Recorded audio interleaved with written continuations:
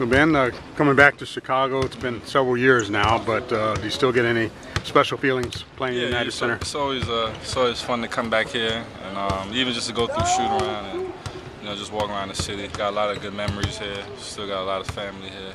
So um, it's just a good place. Nice city. When, when you see uh, the success the Bulls have had the past couple of years under Coach Thibodeau, uh, what, what do you see from the outside looking in as far as what impact he's had as a coach on that unit? With even with Derrick Rose out, uh, they've done so well. I mean, he's a he's probably you know best coach in the league. You know, um, you look at what they've been able to do without their MVP player um, and Derrick, and just the consistency that the ball club has.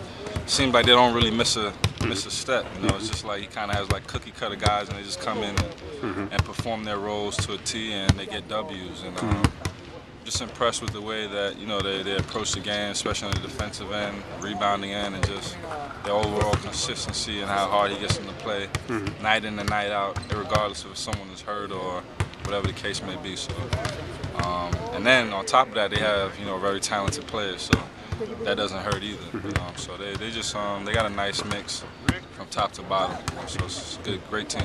Describe the, the impact a coach can have at the NBA level. Obviously, every team's got several talented players on it, but how much of a difference can a coach like that make as far as uh, get- you know getting a mindset, a defensive mindset, or whatever is, is needed? Um, I think it's everything. You know, I think um, you know, obviously in the NBA you need talent to win, but um, I've seen teams that aren't as talented, you know, but you know, um, they're coached a certain way or they have a certain approach to the game um, that you know they're able to still make do. You know, so um, coaching, you know, on every level is always very important. You know, as far as the system and you know just trying to get as much as you can out of your players, whether they be you know top-notch players or players at a lower tier. You know, um, and that's something that I think Coach Thibodeau is is really good at, being able to get as much out of his players as possible.